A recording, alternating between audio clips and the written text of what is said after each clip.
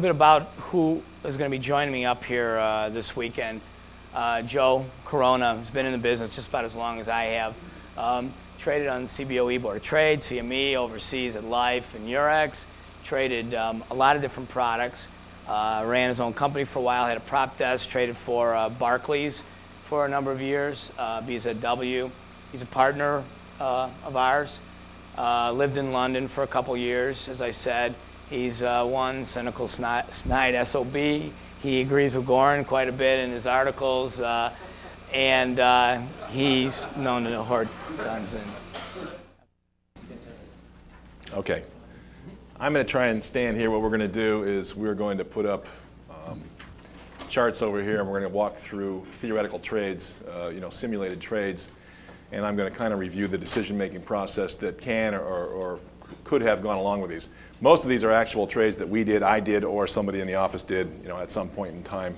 Uh, I won't be able to recall exactly what the volatilities were at the time and, and so on and so forth, but you'll get the idea. The important thing that, that I'm going to discuss and the important thing that you should take out of here is the decision making process that you've got to repeat uh, over and over and over again as you deal with these positions when you have a trade. Um,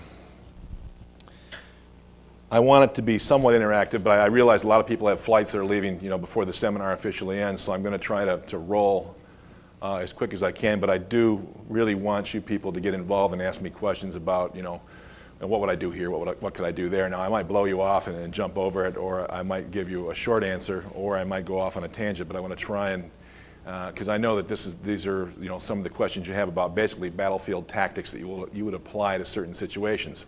Um, let me just go through my. Okay, quick on my background. Um, I'm currently working with Tony at, uh, at STC, working the upstairs trading operation and our internalization operation, the, uh, the, the quasi market making operation. Um, I've been associated with and I've known Tony for you know forever, uh, at least 10 years. I, have also done uh, teaching at the uh, International Trading Institute, occasionally for some of the higher level classes or some of the customized classes my background, I've been uh, like, like a real options junkie. Uh, I've bounced around from place to place. An options trader will tend to follow the volatility. And that's kind of what my career has done. I, I, I, actually blundered into the, the business by accident in 1980. I was supposed to be a, a, teacher. And I needed to get a job while I was looking for a teaching job. And I happened to walk onto the Chicago Board Options Exchange and got a job as a runner. And I got paid $250 a month. And um, I thought they were trading corn and I didn't know, you know, what the hell was going on. But after a while, I, I started to figure out what was going on, and I've kind of just stayed in the business because I found it interesting and, uh, and, and, and, profitable. Um, I started out trading equity options, and I traded equity options on the floor of the CBOE, which is where I first made uh, Tony's acquaintance, uh, from 80 through about 84, maybe 85, I can't remember exactly. And then I saw that the uh, the interest rate markets were going nuclear over at the Chicago Board of Trade, so I went down and I traded treasury bond options in the pit from uh, 85 uh, roughly uh, up through the crash. Uh, I mentioned before that I've you know permanently psychologically scarred by the crash, and through the crash, and then after the crash, things kind of died down a bit because everybody was you know back on their heels, and the grain market blasted off in 88. So I spent all of 88 trading soybean options and corn options and wheat options and meal and oil options. So I, I took my turn through the commodities, ran that through about 89 and then the currency started to fire up, so I made my way over to the Chicago Mercantile Exchange and traded Swiss franc options and Japanese yen options for a couple years. Uh, meandered back to the Board of Trade, and again, I got involved with teaching for ITI, and there were an awful lot of, they trained an awful lot of European clients, and there were an awful lot of Germans showing up in my classes that insisted that the only way to trade options was to constantly sell premium no matter what the level was. So I moved to London uh, so I could trade against them basically. And I, I ran the uh, and I ran the uh, OTC uh, options desk uh, at BZW uh, for for two or three years, and that's where I got involved with the Deutsche Terminbörse or or Eurex as it's now known. And I was first introduced to electronic trading. and fell in love with electronic trading. And I came back here in 97 and I traded Bunds and Bobls and the DAX and the Euro Stoxx 50 futures and options from upstairs uh, in the middle of the night, obviously, I had to get up at uh, you know 8 o'clock in the morning Frankfurt time uh, and trade. And then Tony asked me to join his operation about a year ago. So that's kind of uh, my track record. I've, I've done a little bit of everything. Uh, I think the only market I really haven't ever traded options in might be the meats. Uh, I haven't done any pork bellies, hogs, or pigs, but that's about it. Everything else I've been involved in at one time or another. And as you get more and more sophisticated with options and option strategies, uh, you know, each market has its own individual nuances, uh, you know, just as the equity markets do. But you'll find that these, these strategies that you're learning here today are valid for all markets once you take into account what the individual nuances of those markets are. So what you're learning here for equity options, you'll be able to use in soybeans, you'll be able to use in lumber, you'll be able to use in coffee, cocoa, and sugar, and orange juice, and, and anything else you want to trade. You know, the energy complex out in New York is humming right now. There's, there's stuff to do there. Um, so, you know, options, after a while, once you, once you factor in the nuances of the underlying, at some point, if you get, you know, comfortable enough with these strategies, you'll see that options are options are options, and you can kind of follow the party. You know, if the crap table's hot, you can roll over there, and then if the roulette wheel gets hot, you can move over there, and that's kind of like how it is with, with options. You can move from market to market if you want to, if you want to.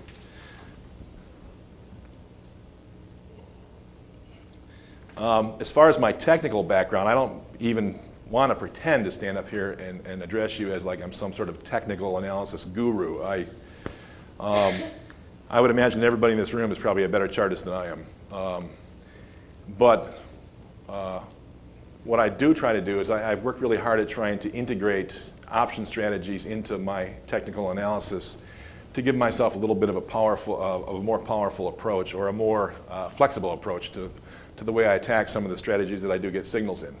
Um, my mentor when I first started trading was what was back then known as a tape reader. Okay, we didn't have anything back then. I mean, I, I don't don't want to come off sounding like you know your grandfather, and then you know I walked uphill through a blizzard to the exchange, but we had nothing.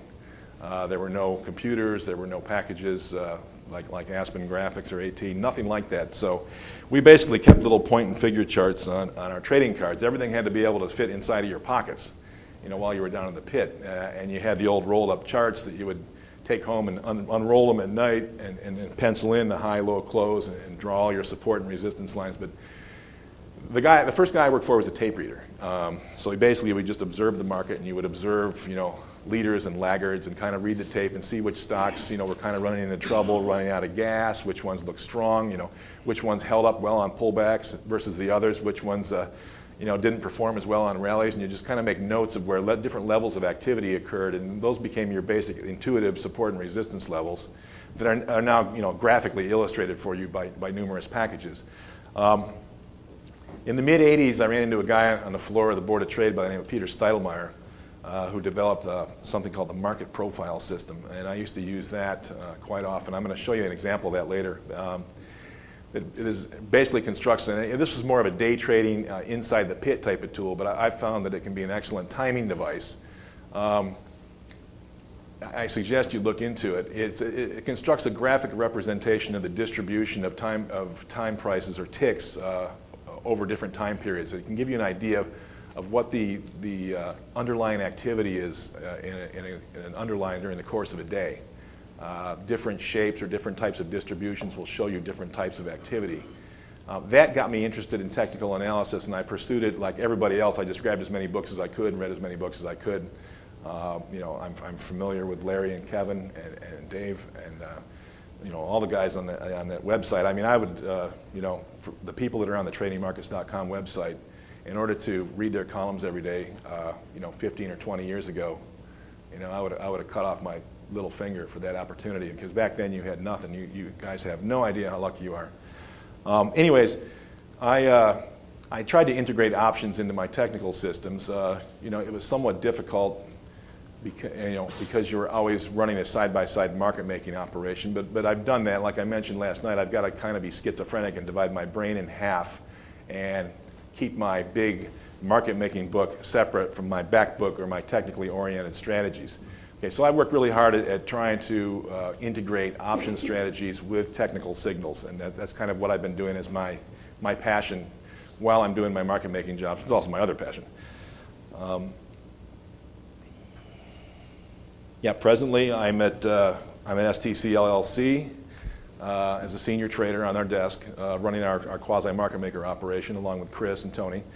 Um, I'm also uh, have my own a consulting firm, and occasionally I'll do you know little consulting gigs for people that are trying to set up operations in faraway exotic places that I like to go to. Uh, other than that, uh, I use those as kind of intelligence gathering uh, operations as well. If I go to Singapore or Malaysia or Australia or somewhere like that to, to help somebody set up, uh, set up an options operation. I'll check it out, and if I see anything that really seems to be out of whack to me, then I'll, I might go there uh, for a while. Um, and I also, met, I also, you know, uh, Tony and Chris uh, and, and everybody in the room here are uh, are focused on equities for this weekend and equity options, but I also am active in the futures market. I still follow the bonds. I've spent a, lot of my life in bonds and currencies and grains, so I follow them all, and I still trade them all actively, you know, for, in my personal account. And I do a lot of the strategies I'm going to talk about today. I, I, I will have, you know, going on in other underliers, you know, concurrently with some of the stuff I'm doing in the equity market. Okay, this module Okay, and my whole theme for this weekend and what I'm trying to, what we're trying to bring across here, and as you well know, especially after this last week, trading is a war. Okay, this is combat. There's real money on the table, and what we're trying to do here this weekend is we're just trying to upgrade your weaponry, upgrade your arsenal. Tony and Chris have spent the last day, day and a half introducing different strategies and introducing the nuances of these strategies to give you a choice of different weapons that you can apply to different situations. So we've been introduced to a series of different types of spreads, what their characteristics are, what type of markets uh, they're best applied to. So you've been delivered a set of weapons, okay? I want to stress that these are an overlay for the systems that you're currently using. Whatever decision-making process that you go through when you decide to take a trade, this is an overlay for you. I'm not going to present uh, a technical system and say, you know, this is the system I use and it's back tested and it's done this and this and this. These are all going to be overlays for your system. So whatever decision-making process you go through, whether you get a chart signal, uh, a fundamental signal, uh, your grandmother calls you, whatever happens that, that triggers you into making a trade, uh, you can, you may have the possibility of using one of these strategies to give you a better edge or to fit your view uh, a little bit better than just a, a, a, plain long or short position. Okay, so these are to be meant to be used in conjunction with strategies that you're using now. Okay? Why options? Okay, why do I want to use options? They're pain in the ass. Okay, the bid-ask spreads are wide. I've got to watch them all the time. They've got all these weird Greek things. Um, you know, never seems like I'm flat. There's always something going wrong. Why would I want to use options? Okay? Um, it, really, it breaks down to, to seven different categories that I'm going to cover. The first one is opportunity, okay? Now, if you're a technical analyst, you know, you've got to agree with this, uh, that one of, the, one of the basic tenets of technical analysis is that anything, any activity that human beings are involved, involved in uh, tends to be erratic, tends to run in cycles as the, the cycle of human emotions consistently repeat themselves. Uh, greed, fear, panic, complacency, arrogance. Um, all these different emotions, uh, hell, we've seen in the entire cycle in one year. Uh, all these different emotions are, are, repeatedly manifested in the marketplace. Um, you can see them especially manifested in option premiums. If you, if you see the VIX index, you can see this fluctuation where people go from complacency to completely out of their minds, freaked out, back through the cycle of complacency to arrogance to fear to panic over and over again. Okay? This is an additional facet of the market that you can take advantage of if you use options. Okay? Now, granted, you can analyze volatility and analyze uh, different levels of, of fear and greed and panic and construct futures or underlying positions around that. But when you construct option positions to take advantage of this well, you give yourself a, an extra edge okay, that, that you can use to take advantage of this market behavior. Okay, here's a little chart of the VIX. Now, I haven't updated this. Uh, I, I, put this up about, I don't know, well, April 2nd. Okay, so I don't have the big meltdown here that just took place, but you know, here's an example. Looking at the VIX, which is the uh, S&P 100 Volatility Index, as you guys well know. Here's the crash of 87. Okay, that was beautiful. And then, uh, you know, we come back down we get a little complacent, and then boom, here's the crash of 89. Uh, here's the downturn, the downtimes in the mid 90s. You can see this thing got really low. Um, you know, the markets were, were gen generally moving higher. Uh, everybody got fairly complacent. And then we had the uh, Far East crisis, uh, long-term capital blowing out here. And this is the peak of the current meltdown. From here, it's now come back down to about, know, it's stuck under 30, and now I think it's just juggling around just above 30 at some point. Um, but anyways, this is a pretty good graphic representation of, uh, of basically human emotion swinging back and forth. Okay, huge peaks of panic and fear, um, huge valleys of arrogance and complacency that take place. And these are the swings that you can take advantage of when you're trading options and you're, you're constructing option strategies. Not only that, the VIX is a, is, a, is a measurement of the volatility inherent in an index. Each stock has its own VIX. You know, if you can chart the, the historical volatility and the implied volatilities of, of any individual stock, and a lot of these charting packages that are available out there, and many others, can give you this capability, you can see when there's a, you know, you can look at the fear and panic that takes place in the individual stocks, not only in the indices. And sometimes you can find things that are occurring uh, when, when they aren't in the indices. So there are all sorts of measurements you can use to chart you know, when a stock might be oversold or overbought, or when there's a huge degree of fear or panic in the market, or a huge degree of complacency, you go through and you analyze the volatilities because the, basically there's no better indicator of human emotion than option premiums. Okay, because again, they are all insurance policies. When people are freaking out, they want insurance. When they feel complacent, they don't, they don't want insurance. They don't think they need insurance because they're arrogant. Okay, so option premiums are, are a great you know, way to measure what, people, what the psychology of the marketplace is and pick up turning, and pick up turning points. You know, Larry Connors, I'm sure everybody here is familiar with the, uh, the Connors VIX reversal series. Those are some awesome strategies. Those are some awesome strategies. And you can construct those with individual stocks as well. Okay? You'll get an idea of when the market might turn and when, the, and when volatility might turn. Okay? Now, the mean reversion, let me just click this here. Let me get back, let me get back to my uh, game plan here. Okay? So that was opportunity. Okay? A lot of extra opportunity when you involve options. Flexibility. Okay? Flexibility is a big one. Um, you're no longer restricted to just up or just down. Okay? You can take on positions that reflect magnitude. Okay? It can be up big or down big, or it can be up small or down small. Uh, you can construct positions that will reflect your opinion on velocity. Is this thing going to move fast or is this thing going to move slow? Timing. Is the move going to happen now, or is it going to go sideways for a while and then the move might happen later? You can construct a position to take advantage of that. Uh, volatility, meaning the current implied volatility. Is it too high? Is it historically too high? Well, who's to say? Okay? But relatively speaking, is it a little too high? Is it too low? Is it just right? Okay? If you have some sort of signal showing up in your systems, you can take the current volatility structure and use that to your advantage to give you an additional bit of edge. Okay? Expected volatility. Okay? What is your viewpoint on expected volatility? Are you expecting volatility to pick up? You know, are we, are we, are we late in the summer and everything's, all the volatility, all the implied volatilities are in the toilet and you're looking for a little rock and roll this fall? You can construct positions to take advantage of that. You know, is it Christmas time and they're beating the crap out of implied volatility, but you think January is going to be out of control? You can take advantage of that. Is it late April and everybody's earnings were crap and the volatilities are sky high, but now you think the market might go sideways and consolidate for the summer? You can take advantage of that. As many opinions as you have about different types of market behaviors and market views, you can construct a strategy that will benefit from those, you know, if you're right. Okay? Okay, I'm not going to say that every one of these things will work. Yes, you are wrong. I am definitely wrong a lot.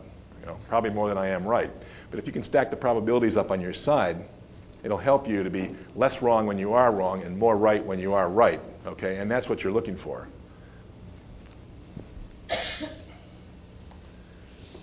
Okay? Uh, complex views can be expressed. Okay? Up but slow, down and fast, uh, sideways for three weeks and then up. Uh, up with volatility getting crushed, up with volatility getting, getting cranked up, you know, down with volatility getting crushed, sideways uh, for a month. Um, volatility getting smoked, volatility getting bid, uh, any kind of combination. If you look at all the different variables that we go through and we go through our checklist, uh, our, our, our, progressive, our list of progressions, uh, you can see that the, the, the, kind of combinations you can put together almost a, a thousand different combinations of viewpoints of the market. Um, your position, uh, I mean, one of the, one of the huge aspects of, of flexibility uh, is that the position can be modified as you go along to fit your changing market views. Um, looking at all the different strategies that have been introduced here today and yesterday, you can see that a lot of them have different pieces of each other embedded in them, and you can add or subtract bits, bits and pieces from positions to convert their entire strategy in midstream. Okay? You can take a bull spread uh, looking for a bullish move, and if suddenly you hit resistance and decide it's going to go sideways, you can flip that into a butterfly. Okay? And if you go sideways for three weeks and then you get a breakout signal, you can buy a straddle and flip that into a long strangle. Okay? Or you can do a bull spread, convert it to a butterfly, and then decide that volatility is too high and you think we're going to go sideways, and you can sell the strangle, and now you're short a straddle. You know, all these different chess moves you can do with volatility with, with option positions, and this is one of the reasons I, I like the flexibility. Another one, and I think this is a huge one. I know this has been huge for me in my trading and in my lifetime, and I, I think this is one of the one of the one of the points that leads to uh, significantly higher profits sometimes with option strategies than just underlying, is the fact that you can roll your positions. Okay, psychologically speaking, I mean I'm speaking for myself, but I know a lot of people run into this. A lot of times, you know, we know that we're supposed to let the winners run and cut your losers off, but it's really difficult psychologically to let, let the winners run. If you're at the card table and you win a few hands and that pot on the table gets bigger and bigger, uh, to me, anyways, all I can think about is what happens if I lose that whole pot, okay? Rather than what I started with. Um, rolling option positions, being able to take money off the table yet maintain market exposure is one of the key things. It really increases my comfort level and allows me to stay with a trade a lot longer. If I can systematically take some of the money I've, I've invested and some of the profits I've accrued off the table, but yet still, still maintain a market exposure, I have a lot better tendency of staying with the trade a lot longer and getting that second standard deviation or third standard deviation move or that, that wave two up. Um, rather than chickening out on the first uh, pullback and taking the whole thing off the table and then sitting there like this going, God, I knew it was going to do that and not having anything on.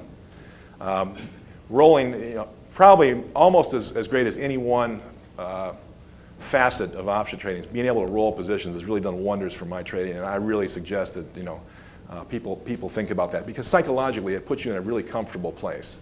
If you can get your initial investment off the table, then you're playing with the house's money. Uh, you have a lot better chance of sticking with the trade, you know, all the way to the bitter end.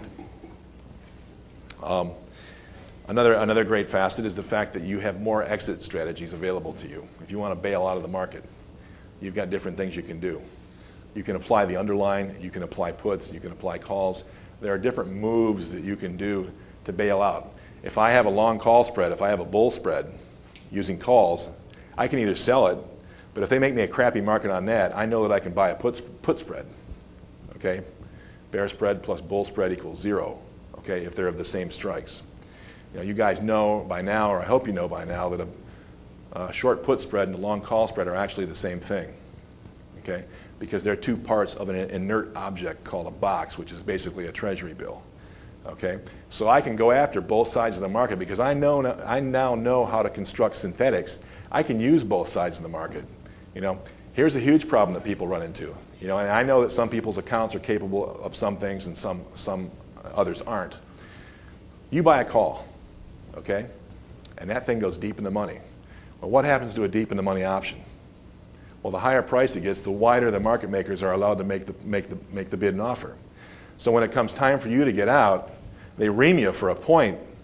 You know, when you're trying to get out of the thing, now that you know about synthetics, you can take this deep in the money call, and rather than selling that, you can go over here to the opposing put, which is now trading for a half a buck, or you know, and the market market on that might be five eighths bid at uh, 11 steens or something like that. You can just sell the put and sell the stock one for one, and know that that is, now, that is a synthetic short call. You have just sold the call. Okay, and you no longer have to get raped by the bid-ask spread on a deep in the money option. Okay, deep in the money options for the market makers in the pit, they have high deltas. They're difficult for them to hedge. Well, they're not really difficult to hedge, but they like to say that. Uh, high delta option and they pull liquidity away from those. Whereas the, the way out of the money put is a low delta option. Those guys aren't that worried about them, so they'll make you a tight market on those. So you can use that one to exit rather than the deep in the money one. That's something you can think about now that you know about synthetics. Okay, your account may not. The resulting position will be something called a reversal. Okay, which is basically a locked arbitrage type of trade. Okay, and your account may or may not be capable, you know, for margin considerations, and I have to say I'm, I'm I'm not familiar exactly what the margin is on something like that. To do that, but if you can, you can save yourself an awful lot of money on exiting using those strategies, using the synthetic strategies that you've learned here. You know, if you monitor those, you can save yourself an awful lot of money by not having to cross an enormous bid-ask spread when you're getting out of a position that has a high, getting out of an option that has a high absolute price. Okay, because the higher price the option gets to be, the wider these guys are allowed to make their markets. Okay, so there are more exit strategies available. Scalability. Okay, another good one. When you're constructing a position, or deconstructing a position for that matter, uh, being able to use the building block approach, uh, being able to put your toe in the water somewhat, uh, is really important to me because it allows me to be able to jump my signals. Okay, I can apply strategies and layers. You know, suppose I'm looking at a market that looks to me like it might be making a rounding bottom or it, you know, it looks like maybe the selling's kind of dried up and I'm, I'm, getting you know, some seriously oversold indicators and maybe I'm getting some bullish divergences. But the market action really isn't telling me it's ready to go up yet. But I'm thinking that you know, I got to keep my eye on this sucker because I'm going to get, something here soon. You know, you can start to put your positions on in layers. You could take a, a kind of a passive approach and apply some sort of passive bullish strategy while you're waiting for the real signal. I'll just, I'll just pull one right out of my brain. You know, suppose I've got something that's making a long saucer bottom okay, and the, the, the, ranges have really tightened down, and it looks like the selling's kind of dried up, and maybe I'm getting a little divergence, you know, on, on, RSI or stochastic or something like that. I'm thinking, you know, this thing, it may not be ready to go up yet, but I certainly think it's done going down. I'm gonna, I'm gonna take a, you know, I'm gonna take a passive bullish strategy and apply that first. And then when I get the real hardcore signal, then I'll lay the rest on. Okay, so I'll, i might put on something that I call the crank, where when uh, when something's looking like it's making a saucer bottom and I think I might get a bullish signal at some point, I'll approach it in layers and I might go in there and sell a put spread. Okay? Because I, once again, I, I abhor open ended risk. So when I'm going to sell puts or in a situation where you might sell puts, and I, am going to, all the strategies I'm going to talk about today, I'm going to talk about like I'm trading them in my personal account, not my professional account, okay? Because that's where we're all coming from. I'm going to sell put spread okay? Because I don't like to have the open-ended risk. So I'm going to sell a put, but then I'm going to buy a put of a lower strike. So I'm going to collect a little money for that, and it's got a positive delta. Uh, and I'm going to sit back and I'm going to see what happens. And as the, as the market traces out its saucer bottom, uh, and, I, and it starts to build some activity like it looks like it might rally, I get some sort of signal that yes, this is it, this is the rally. What I will then do is take the premium I ge generated by selling that put spread and buy calls with it. Okay, so I've spent nothing okay? But I've got this bullish position that I like to call the crank because if you plot it, it looks like a crank, okay? But that's, the, that's what I mean by layering or a building block approach. You can kind of stick your toe in the water with a passive strategy, and then once you get the actual signal, you can apply your hardcore strategy. And a lot of times you can use proceeds from the passive strategy to finance your hardcore strategy or vice versa. Okay, so that's just an example that I yanked out of my head. Um, I had one of those in gold in 1998 when the Bank of England had their auction and it went nuts. That was good. Um, so it allows you to jump signals, like I was saying. You, you, know, a lot of times we'll be monitoring charts, and you, I, and everybody else on the planet, well, a lot of us are watching these charts like hawks, and we're waiting for the whatever, right? And uh, you know, a lot of us are, are really familiar with, you know, read the same books, looking at the same things. And a lot of times when you do get the signal, everybody else gets it at the same time, and it's a road race to see who can get in first, and the stock blasts off, and you're trying to do this and that and the other thing. This allows you to anticipate the signals a little bit and kind of have something, a little something happening in case you miss the hardcore signal, you're in the John or something. Um, I like, I like that. I like to be able to jump my signals and, and, and take, a, take a passive approach and then, and then attack it with an active approach. Uh, positions can be removed the same way. You get a position on, it goes your way, uh, you can take off parts of it, again, to increase your comfort level. You know, if you have a position on, you, you buy some calls, you think the market's going up, you can roll them, you can scale them. I buy 10 calls, it gets to one resistance level, I'll take off three of them, see what's happening, okay? bounces around there a little bit and moves higher. Okay, hits another resistance level. I'll, I'll get rid of a couple more. Now I got five. You know, or I can roll them like I was talking about earlier. You know, this scalability and flexibility with options is one of the things that allows me to really uh, milk my trades. Okay, milk my trades. Now you don't make as much sometimes as you will make on just a straight out, flat out underlying position.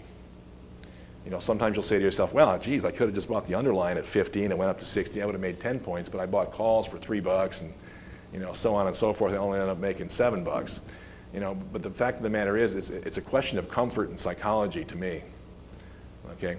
I'm much more comfortable being able to add and subtract things in layers, you know, and know that my risk is, is always uh, predetermined and contained. All right, staying power staying power is very important. Um, I'm sure I have, you have, and everybody has been, you know, jerked around by intermittent noise uh, while we're trying to enter a trade. We get some kind of signal, or we're trading against a support or resistance level, uh, and you get some short-term noise in the market that, that, may jump around and stop you out. Okay, and you, you get a signal again, and you get stopped out, and you get repeatedly stopped out, and finally you lose confidence and you say, the hell with it, I'm not going to take that again, and then it blasts off like you thought it was the whole time. Maybe I got the signal at 11 o'clock, and I got in, and then I got subjected to the lunchtime jerk session that a lot of these markets have. And maybe a bunch of locals in the pit decided to run stops. Yes, we do do that. We know where they are. Uh, not because the brokers tell us, but because guys like me are asked, where would you put a stop if you were trading? and you know, when I was in the pits, I would look at the charts and I would say, you know, technically this looks really bad. It looks like it just issued a sell signal. If I were a technical trader, I would sell it here and I'd put my stop right here and then we go, okay, great, we'll go check that out and see what's up there. Uh, you know, it allows you to avoid some of those stop runs, you know, getting stopped out and then having the move take place. You know, like Goran says, they always check you one last time, you know, before they let it go, you know, just to, just to see what's going on up there. Um, true, very true. Uh, you know, I was I was part of that. You know, that's what you do in the pit. You sniff out paper like a bird dog, and you examine it and see what it's see what it's all about. Sometimes. My understanding was that market makers were pretty good about using point and figure charts even now. Is that still true, or at least that's right?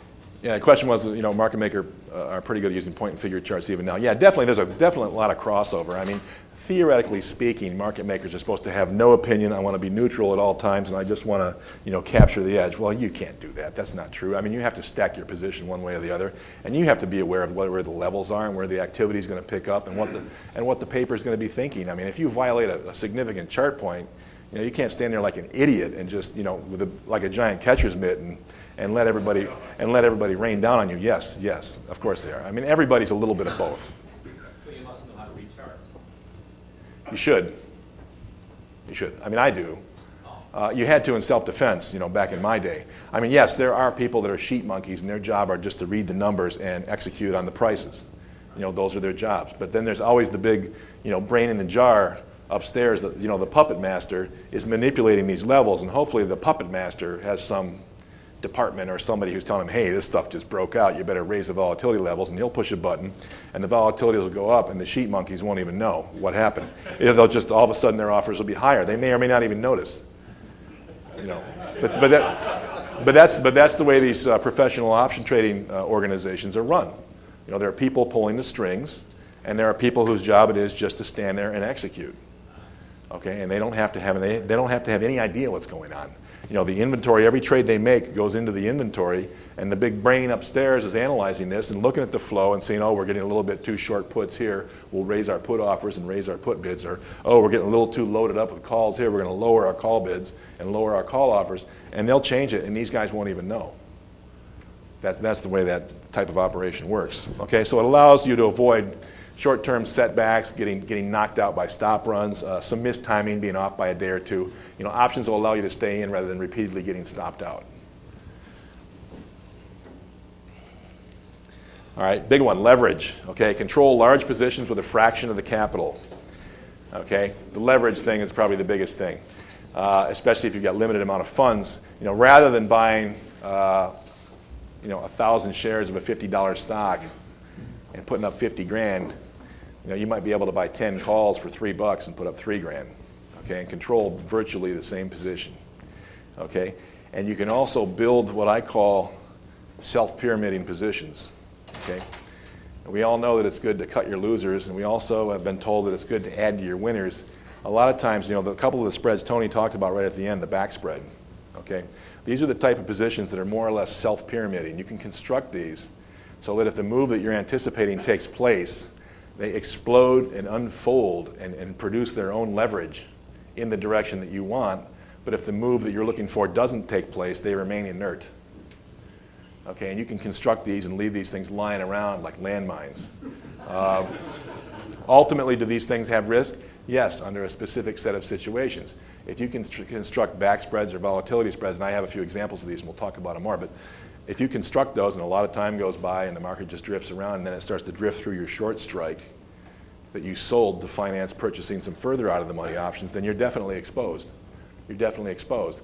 But if, you if you're looking at, you know, the, the added edge you have as a chartist or a technician is you have a specific signal that's calling for a certain type of behavior in the market that's either going to happen now or you're going to be wrong. I mean, when I, when I get a signal, if it doesn't pan out, you know, you know, relatively short period of time, I'm usually looking for the exit anyways. You know, so with the back spread, um, that type of thing, you know, you can put those on and under certain circumstances. And if you're right, you know, it's huge. And if you're wrong, eh, it's no harm really, you know, if you get the specific situations for those.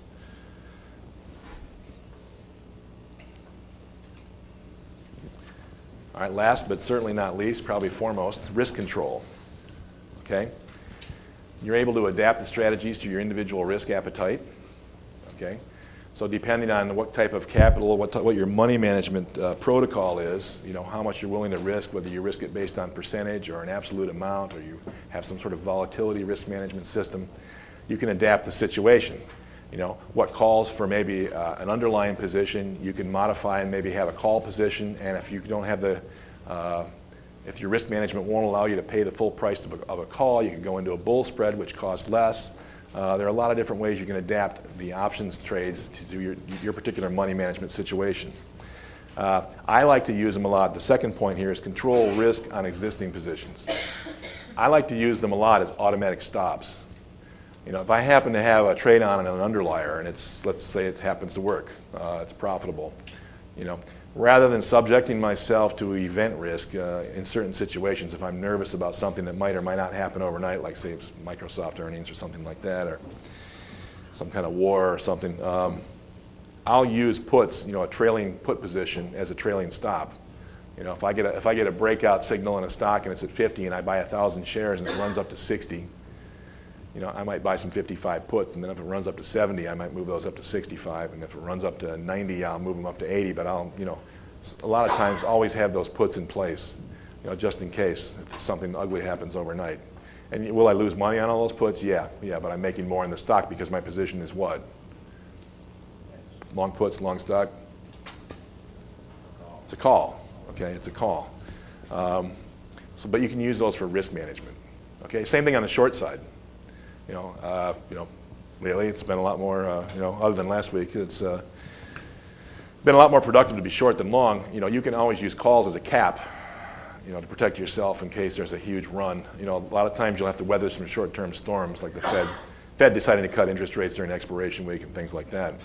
Um, a lot of times it's good you know, if you've got a short position, you're really convinced the market is ultimately going down, but there might be some short-term noise, and you want to protect yourself from an outside event like a you know Bundesbank-style intervention that we had.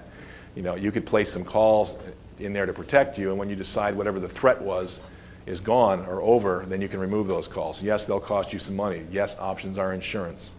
Okay, but you can use them as such, and a lot of times that insurance is really worth it.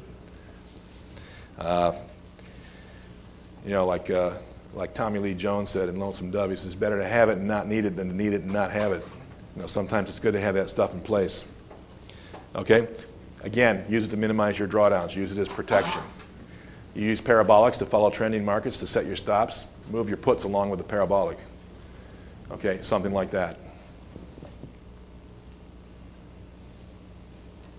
Okay, liquidity and access. Now, me standing up here and talking about all these different strategies, and Tony and Chris standing up here and talking about all these different strategies, really wouldn't be worth anything because of the bid-ask spreads that you guys are forced to cross and the commissions that you're forced to pay. Okay, Uh, just to recap one last time, we're working to change that with this iSpreads website. Uh, we're going to provide deeper and tighter markets. Um, you'll have electronic access if you, if you set up the right brokerage relationships. So you'll be able to point and click and execute instantaneously, which I know is very important to a technical trader. You can't afford to take a signal and then be on the phone with some idiot while he's trying to quote you some sort of spread and uh, you know listen to the market makers on the floor jack him around for 15 minutes while you're trying to get it on. And meanwhile the market's moving. You can't afford that. You need to have electronic execution electronic confirmation. It needs to be close or semi-close to instantaneous. Does that exist now? Uh, not really. Uh, in some forms in some places are we working really hard to bring that to you yes um, as far as the iSpreads website, like Tony said, it's not functional now. You won't be able to trade through it right this second. However, you will be able to access it. And uh, like he, he said, one of his associates that's in the brokerage business has said that he is able to execute on those prices almost 70% of the time because those inside prices that we're, we're displaying for you are what the prices really should be if the market maker was making tight markets like they should in those structures. So they're good as far as indications go as to where you could probably execute stuff.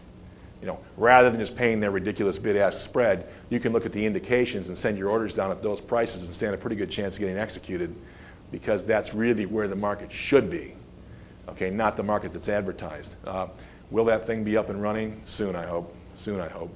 Uh, as a user, uh, which ultimately I will be again, I'll use that thing. You better believe it. Um, I'm a huge fan of electronic trading. Like I said, I trade in all these different markets as well. Would I like to use that thing as a user? Yeah, you better believe it. I'll be all over that thing. Um, you know, at first I'll be on the other side of it because I'm trying to bring it to life, but later on when I'm wherever I am, wherever I'm going, uh, I'll, be, uh, I'll be a user as well. Uh, it's got the RFQ function, the request for, qu for quote function. You call you see some kind of complex strategy you want to put together. You hit that thing, it's going to pop up on my desk or one of the traders in our room's desks and we'll make you a price, and it'll be good. It'll be good for some, for some size, and it'll be good. It'll be good for some. Uh, you'll have a nice tight market, uh, depending on how many legs there are, and you'll have some depth, and we'll trade it with you. You know, we're, we're good for it. Uh, instant entry and exit. Okay, with electronic trading, you get the signal, you can get in. You get the signal to bail, you can get out. Okay. Again, I know that in the equity options market, these are not realities at the present, but these are the things that we're really working toward. Okay. All right.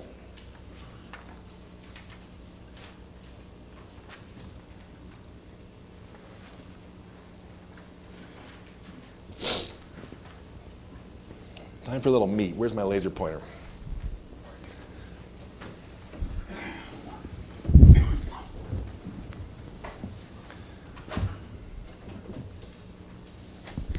Okay, here we go. We're going to start looking at strategies and we're going to start looking at applications. Uh, what are we on the when do we break? Three? Okay, fine. Um, strategy selection. Okay, choose your weapon. The first thing you want to do when you're looking at constructing a trade, when, you're, when you think you're going to receive a signal or you have received a signal, you want to examine the landscape. You want to see what the situation is in the market. Examine the battlefield, see what the layout is, what's been going on, and analyze all the different variables that are going to have to go into construction of an option strategy, the different things you have to monitor. Remember, these are the things that are going to give you the extra edge. Okay? So you've got to analyze these things and then select the appropriate strategy. Analyze the variables, and then you've got to look at your view. Okay? What is my view? What is my signal telling me? Okay?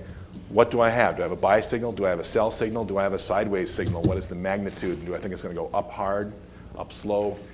What does your view tell you? Okay? And then you have to look at your risk and your money management strategy. You know, what am I allowed to do? How much of this could I put on? You know, what are going to be my risk parameters? Where do I get in? Where do I get out? Okay? You should almost have this done before you, get, before you enter the trade. Okay? So you have to try to anticipate these things. Um, going forward here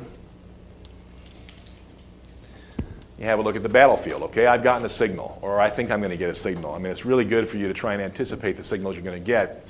You know, we all know that you, you have a good idea that something might be something might be cooking. Now, things can, things can pop up out of the blue, and they do.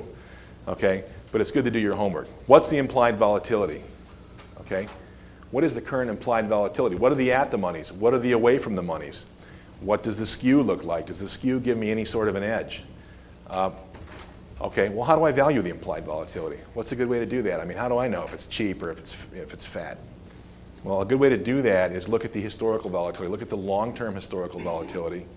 Uh, there are various websites where you can pull that up. Tony mentioned the ivolatility.com. I'm sure there's plenty of them that, uh, that uh, uh, you know, Option Index, Option View, places like that. Have a look at the long-term historical volatility. Okay, what's the recent volatility been? If you have a chance, try and find some of those volatility cones or plot your own volatility cones so you can see what the range has been on the volatility for the time frame of the option that you're looking at. Okay, so try and get an idea whether you think it's historically underpriced or overpriced or fair priced. Okay, if that gives you an edge, then you have to build that into your position, whether or not the volatility is fairly priced, expensive, or cheap. Um, does the skew give you an edge? Okay, let's say I get a buy signal. Okay, I get a buy signal, and the volatility is fairly priced, but there's this huge smile. Okay, there's a huge smile like this, and the at the money options are the cheapest options, and the away from the money options seem to be trading really fat at a really high volatility. If I get a buy signal under those circumstances, to me that's screaming bull spread. Okay, because I'm going to be able to buy the at the money option at the lower volatility and sell the away from the money call at a much higher volatility. Okay, so I get a little bit of an edge there.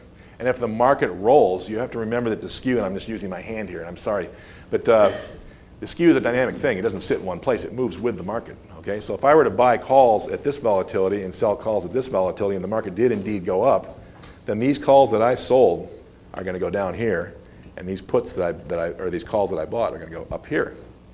Okay, and that skew is going to work for me in volatility terms. Okay, so these are things. Do I should the retail guy get very anal about the skew? No way, no way.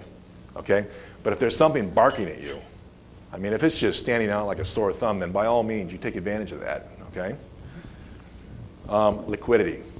You know, probably the biggest pain in the rear end is when you get a signal, a really, really nice signal in some stock, and then you pull up the option page and you, can, you see that the volume is two and the open interest is four. You know, and, and, and there's nothing you can do about that.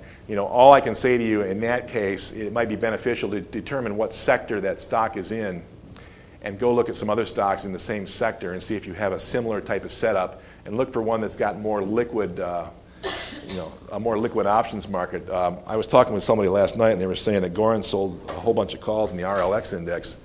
Uh, I didn't know that that index, the options on that index were, were that liquid. I was surprised and now I know. But uh, you could also go to those if, uh, if you have a market maker operation, like if they're on Philly, I think Susquehanna usually runs the, runs the shop on most of those uh, different broad sector indices, you might have a shot at getting something on in the index itself.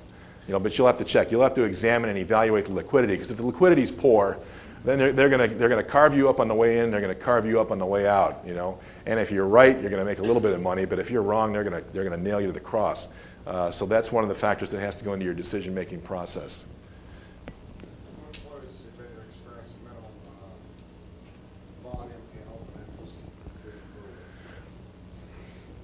Well, a lot of them, you know, they're, they're competing. I mean, all the, all the options are listed on every exchange, and everybody's competing for business. So if there's a, you know, if there's a fair amount of volume going on, let's say, let's say I'm looking at 100. I don't know what kind of positions you trade, if you trade hundreds or 50s or 20s or 10s, but, you know, they do make, you know, minimum bid-ask spreads, and they will compete for business. So you might have an opportunity, even if there's not a lot of liquidity. You know, I like to look for volume of, you know, maybe a couple hundred at least at a given strike, you know, in a given day if, I'm going to get involved. You know, and that's if I'm trading a 10 or a 20 lot. You know, if I'm going to do a 200 lot, then obviously I don't want my size to be the, the entire day's volume. Uh, because you know obviously they keep track of those things and they're going to know when you're coming and they're going to know you know and they're going to adjust their markets accordingly. Um, you know the spread site might be able to alleviate some of those problems, but you do have to examine the liquidity issue because uh, you don't want to get hung off the dry you know on the way in and on the way out. Okay, any questions so far? All right. Um, the variables, okay? Here's what you've got to analyze when you're looking at different trades, okay? And you're going to have to repeat this at every step in the trade once you're in the trade. Direction, okay? What's the direction? What is the magnitude? What is the velocity? What is the current implied volatility structure? What kind of volatility do I expect okay, both in the underlying and, and in the options.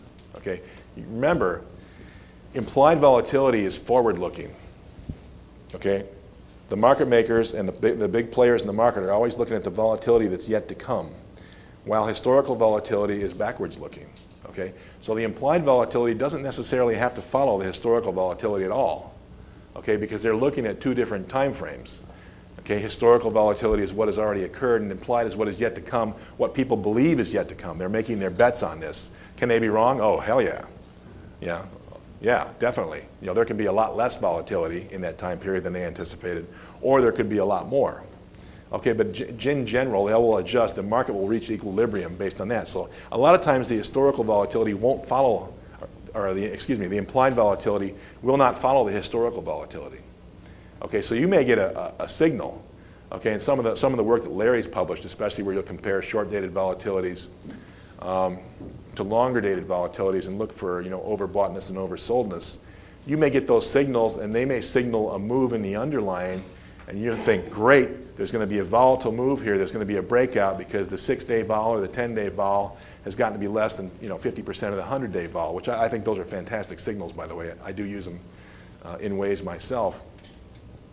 And then you'll go look at the, you'll go look at the implied volatility. Okay, so the, the, the 10-day historical is down here in the toilet, and you'll think, oh, great, here comes a breakout. This is a perfect situation for a straddle.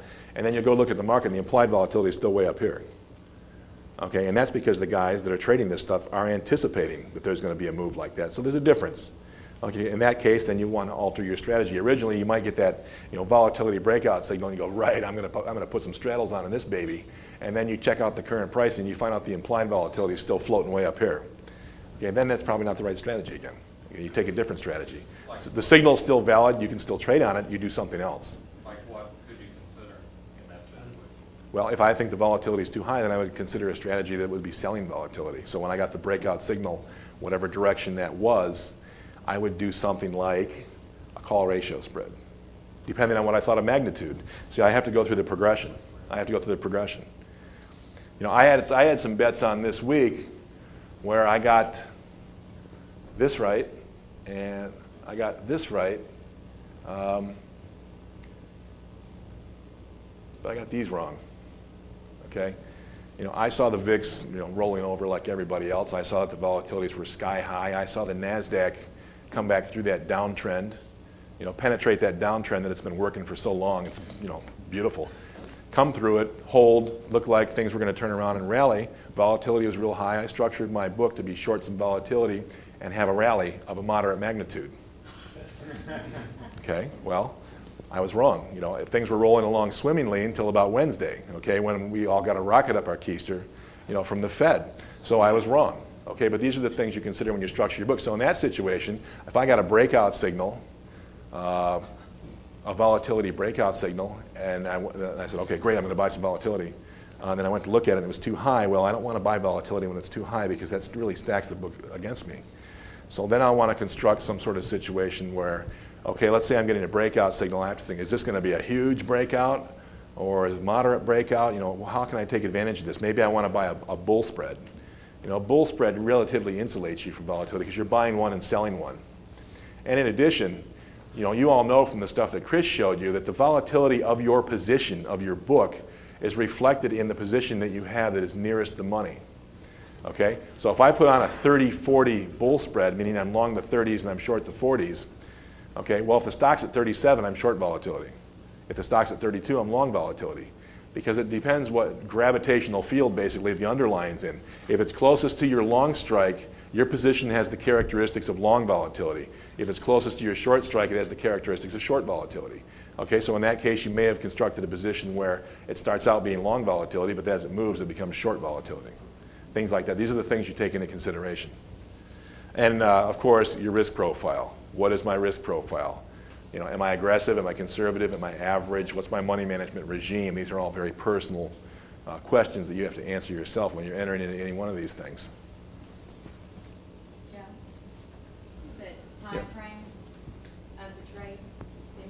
One of the, I mean, sort of stepped around it. Was that, was that up there, timing? No, well, I'm looking at There. I might have, uh.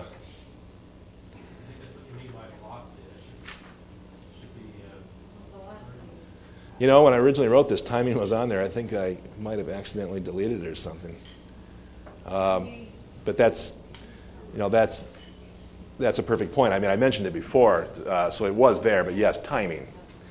You know, time is of the essence. There are a lot of, there are a lot of, uh, thank you, there are a lot of trades, you know, where you're, you think something's going to happen in a certain direction, but you're, you know, relatively unsure of the timing.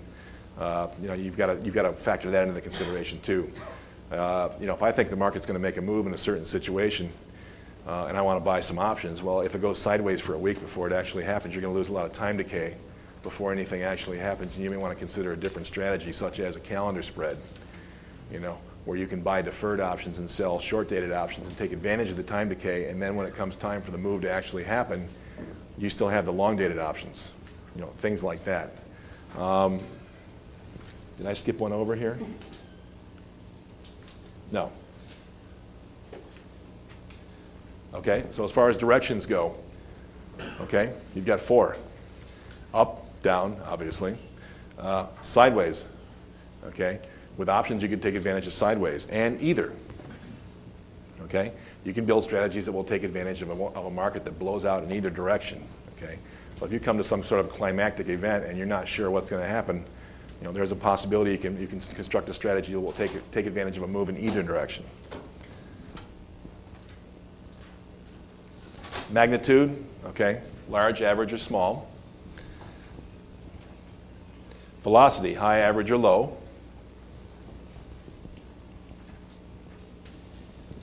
Okay, the current implied volatility structure, is it high, is it average, is it low? You know, and the question is always relative to what. You know, I found the best thing to look at is a, like a 100-day historical. You, know, you look at the long-term mean. We all know that volatility fluctuates around, uh, but it eventually reverts to its long-term mean. So the long-term mean is basically your benchmark uh, when you want to measure volatility. Can high volatility get higher? Yeah, definitely. Can low volatility get lower? Yeah, absolutely. Okay, but as a frame of reference, you should always look at the long-term mean, maybe a 100-day historical or a 200-day historical, something like that. Um, is it high, average, or low? And then do you have some kind of advantage or disadvantage from the skew structure? You know, look at the smile.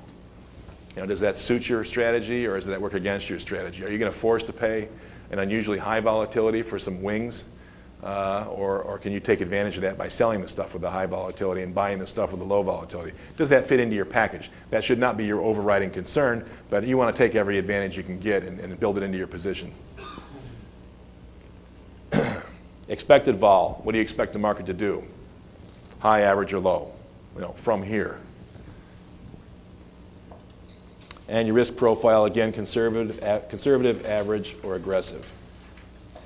Okay, so you want to take all these variables, and as you can see, the combinations of these things, the different combinations will give you, you know, a thousand different combinations, and build them into the appropriate strategy. Okay, and again, depending on what your risk profile is and what your comfort level is and what your personal trading rhythm is, some of these, some of these uh, strategies just won't resonate with you and just won't work with you. But you'll find out over time you know, which ones will work for you and which ones won't and which ones you're comfortable with uh, and which ones you have a kind of a, a built-in affinity for. Okay, so you want to do all this and combine this into the appropriate strategy. Okay, so let's just review our toolkit of all the different types of strategies we have and what type of battlefield situations we'd like to use them for.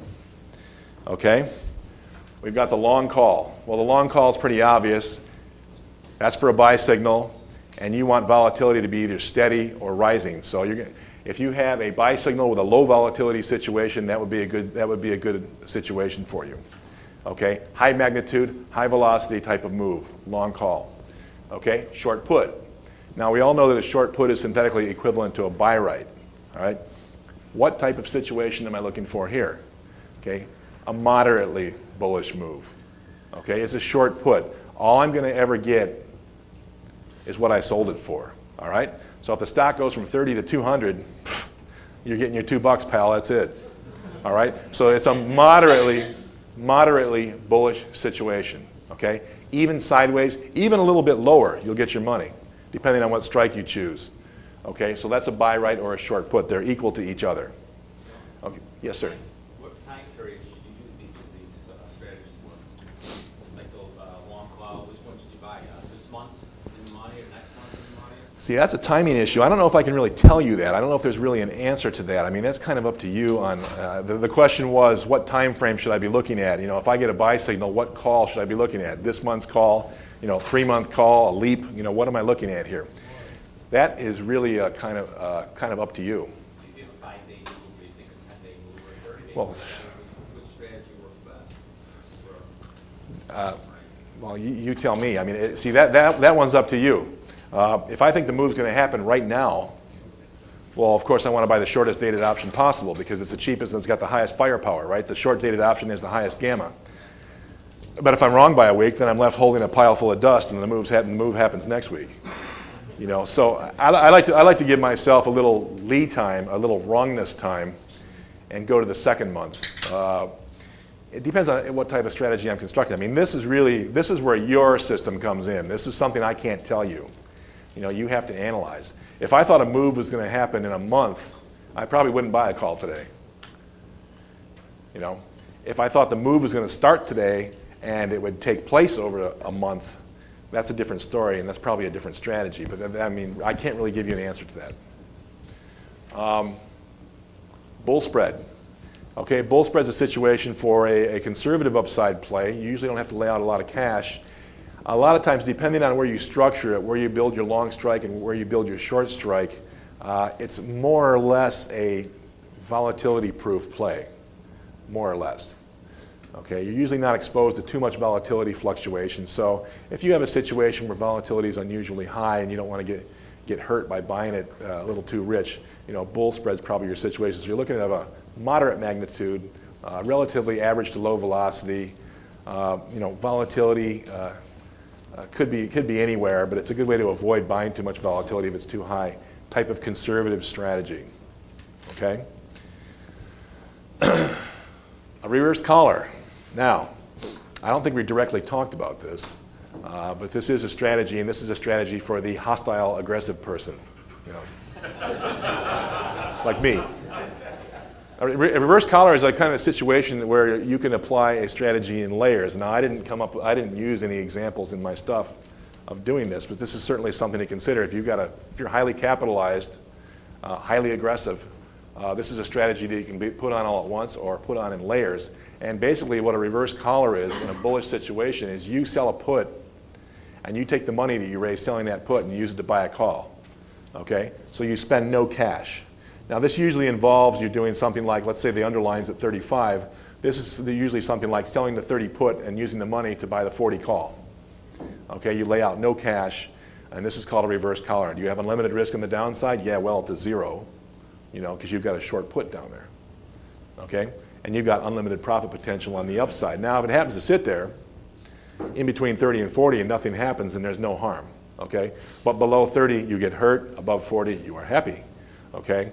And so what, that's what you're doing. That's a very aggressive strategy for, for a pro or a semi-pro. I would not recommend a retail person to do that. Hang on for a second. Um, you know, an alternate strategy, something like this might be something I, I was talking about earlier called the crank, where you sell a put spread, you know, which has limited risk on the downside, limited, you know, risk, but defined risk. Sell a put spread and use the proceeds to buy a further out of the money call and not spend any money. Uh, same type of situation. Uh, That's a hostile or less aggressive strategy. that's a less aggressive. Less aggressive. I'm not hostile. Not hostile, just aggressive. Uh, yes, Girish. I, uh, I was gonna say the same thing. Oh, I- about the crank, about the crank? Yeah. Yeah, okay. Bow and arrow. The bow- the bow and arrow. I do- I the money put spread and buy calls, so the whole, whole trade is put with some credit. I mean, uh, Yeah, I mean, basically, I mean, you, you can, it, it's all, it's all, a, it's all a cash flow thing. If you break down the actual position, we know that a short put spread is the same as a long call spread. So if I have a long call spread exposure and a long call on top of it, obviously there's two long calls and one short call, so, you know, it's, it's a boogie to the upside type of position, but, you know, the, the point is that it's a, thing that you can apply in layers again. Uh, you know, volatility is real high, okay, maybe I, you know, and, and I'm an aggressive guy and I've got, I got a, I'm highly capitalized and I'm willing to take a lot of risk. Volatility is, you know, high, I get a buy signal, I'll sell the put first. Okay, but I know that if I sell a put and it's going to be a high magnitude move, I'm not going to be very happy because I'm just going to be able to keep that premium that I sold it for and I'm going to miss out on the whole move. So when I do get my, the rest of my signal, uh, or maybe it comes all at once, Then I use the proceeds to apply to a long call and give myself an unlimited profit potential type of situation. That's an aggressive strategy for a high risk person. Um, ratio spread pointed to the upside. This is uh, like the spreads Tony was just talking about, where you buy one call and you'll sell two or more calls at a higher strike, basically using the money you raise financing selling the out of the money calls to finance purchasing the in the money call. This is a bullish type of spread where you're looking for a low magnitude or moderate magnitude, low velocity, declining volatility type of move. You are short volatility. You're short vega, you're short gamma. Okay? You're going to be naked, net naked short one option. Short two calls, you're long one. So if there's a high magnitude, large move to the upside, yes, you have the same risk profile eventually as a short call. Okay? But if it's a low plotting, methodical, grinding move up, then as you, if you remember the risk profile that Tony put up for a ratio spread, you pass through an area of happiness before you get to your area of death. Okay? Now the ratio spreads will test you as far as your greed goes because the closer you get to the ultimate happiness, the closer you get to the ultimate death. Because it reverses once it passes your short strike. So if the market goes right to your short strike, that is your area of ultimate happiness. The two options or three options that you sold expire worthless, while the one that you're long goes out to maximum value. Okay? But then, if it tiptoes past that strike, then you start to head into the valley of death. Okay, so the, the one thing I've seen people with ratio spreads do is try and hang on to them too long to try and be greedy and milk that last tick out of it, you know, and then wake up the next day and find the stock five bucks higher and it's like, yeah. Okay, so you've got to be extremely disciplined with those because you have an open-ended risk. Um, so they are for people, you know, have a risk profile of average. Okay. One thing I'll point out about this is that it's really easy to convert into a butterfly. Okay, it's two thirds of a butterfly. You got one long, you've got two shorts. You know, if, if the stuff starts to hit the fan and you got to run for cover, you can slap that last call in place real quick. And then you've still got a strategy that takes advantage of a grinding, upward, declining volatility move, but it's just a strategy of limited risk. Okay? Which leads me to the next one a butterfly or a condor above the market. Butterflies and condors are target trades. You want the underlying to go to a certain zone or a certain place. Okay? So if you had a bullish signal and depending on what the volatility background, what the volatility signals you were, you got were, uh, you want to construct a butterfly or a condor above the market so that the underlying could run into the short strikes. Okay, so that would be good for a bullish situation, uh, really conservative trader. Maybe volatility is a little bit high, um, and you, you could uh, you could set up a situation where as the market went up, you started to run into your short strikes, which would flip your position into being short volatility, and it would take advantage of volatility coming down as the market went up. So that'd be a butterfly or a condor above the market. Do you, on the butterfly or the condor, do you, is there any reason to have to wait until it's closer to expiration to take your profits off the table?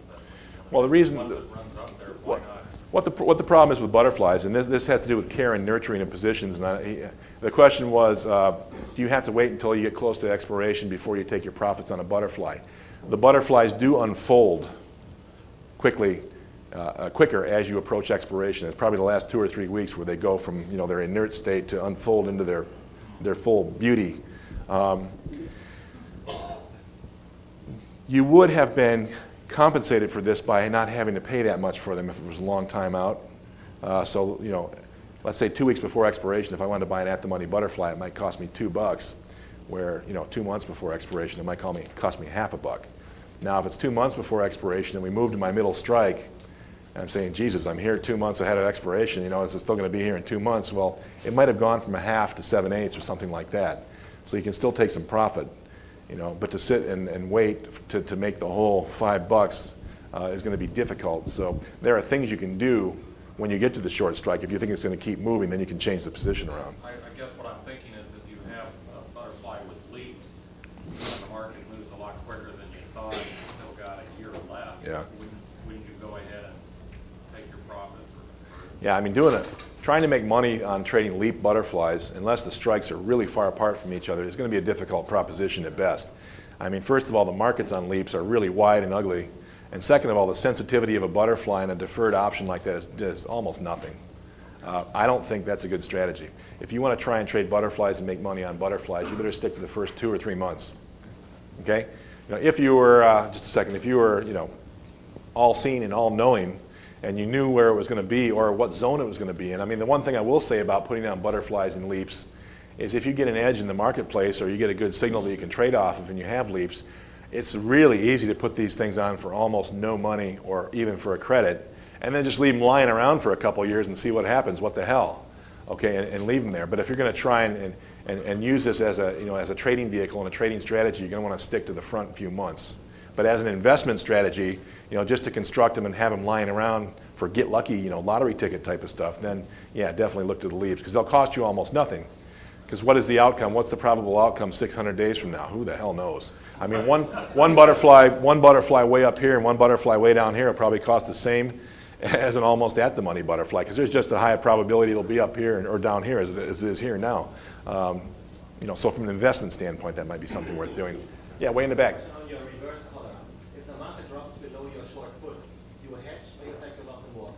Uh, I'm looking at this as a strategy, and I don't want to pollute my strategy by, by adding any uh, extraneous type of uh, hedges. Now, what I mean by that is the strategies that I'm going to go through and that I'm presenting here are pure uh, textbook option strategies. And I've found, this has been my experience, and I'm sure that some other people have experienced this, when you pollute them with underlying trades. Okay, you have a, you have a strategy that has a certain risk profile, and if you put an underlying trade with that, then you alter that risk profile. Now, as long as you're cognizant of what that risk profile means and how you're going to handle it, that's fine. For example, if we look at that reverse collar, right? I'm long an out of the money call, and I'm short an out of the money put. His question was, if the market trades down below the strike of my out of the money put, would I sell stock against it? Well, maybe if my view had changed to where I thought the market was going down, because as you know, if you sell stock against a short put, it becomes a short call. Okay? So if I were to sell stock against that short put, now I'm long and out of the money call, and I'm short and near the money put. I have a bear spread on, basically. Okay? If that's what I wanted, that would be fine. Uh, if I was using it as a vehicle to run for cover until I could unwind the spread, that would be fine as well. Okay, a lot of times, you know, if, if, if, if all of a sudden you have, you have a reverse collar on and the market starts tanking and all your sell all your buy signals are nullified and you have to hit the panic button, yeah, it might be prudent to just calculate the delta, hedge that amount of stock, and then send the whole thing down to the pit as a package, you know, and, and, get, a, and get a tighter execution. But it's not something, if that wasn't what you wanted, it's not something you want to buy and hold. Now, you know, you're probably thinking, well, you know, I could sell the stock and then when the sell-off's over, I'll just buy the stock back in and be in the collar back in, or be in the reverse collar again. Yeah, that's up to you. I've always found it's best not to overcomplicate things. So if, if you suddenly, if that sell-off, you know, triggered you into some kind of sell mode and a, and a bear spread was what you thought was the applicable strategy, and then by all means, you know, selling the stock and converting the short put into a short call and getting into a bear spread would work. Okay, but if that's not what you really wanted, then I would find that it, I, I, would think it's best just to get out. Okay, last one, and I, I got to try and pick the pace up a little bit, is an upside back spread. Okay, an upside back spread, you've got a buy signal, you're looking for a highly volatile move. Okay, high magnitude, high velocity move, a quick move with inclining volatility. Okay, this is the one where you buy several out of the money options and you finance them by selling an at the money option. Okay? This is the expanding, self-expanding, self-pyramiding position I was telling you about.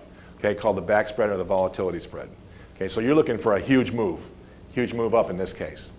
Okay? Any questions so far? Okay, I want to get through all these so we can start getting into some, some examples because I know a lot of you have to leave uh, for earlier flights and stuff. Okay, going through the bearish, the bearish options or the bearish arsenal. Okay, the first one, a long put, straight long put, nice and easy. When do you want this? You've got a sell signal. Volatility is either cheap or fairly priced. Okay, you're expecting a move of a higher magnitude and a higher velocity, a long put. Okay, second one, short call. Okay, you've got a bearish signal and you're looking for a move down, and implied volatility is high. Okay? You're expecting a, a move down of moderate magnitude, of moderate velocity, and you want to take advantage of the high volatility by selling a call. Okay? If the stock goes all the way to zero, if you're at $100 and you sell a 100 call and the stock goes down to 30, you're not going to be really happy with this. Okay, you're going to make your three or four bucks and that's going to be it. Okay? So you're looking for a moderate magnitude, moderate velocity move down under high, you know, with current high volatility conditions. Um, number three, a bear spread. Okay? You're looking for a move down of moderate to small magnitude, uh, depending on where you construct your spread, uh, moderate to low velocity. Um, and the volatility conditions can be, can be anything as long as you, it depends on how you construct your strikes. Uh, it's a kind of a volatility insulated strategy, uh, sort of. Okay? This is for the, the conservative approach, a bear spread. Collar. Okay? Reverse collar, collar. All a collar is, is you're doing the opposite. You've got a sell signal, and maybe you think volatility is too high, or maybe you're just allergic to buying premium or spending money on anything. This is where you sell a call, an out of the money call, and you use the proceeds to purchase an out of the money put, you know, for a neutral cash situation.